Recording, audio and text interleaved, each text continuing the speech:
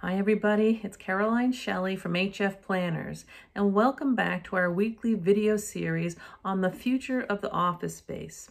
This week we're talking about returning to the office and what has to happen to your HVAC system in order to prepare the space for returning workers. I'm sure your offices have been closed for two, maybe three months now and air has become stagnant.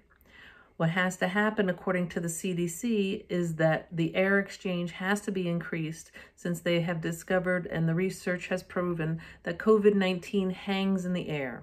So by increasing the airflow throughout your building, you will help provide a more comfortable and less sick environment.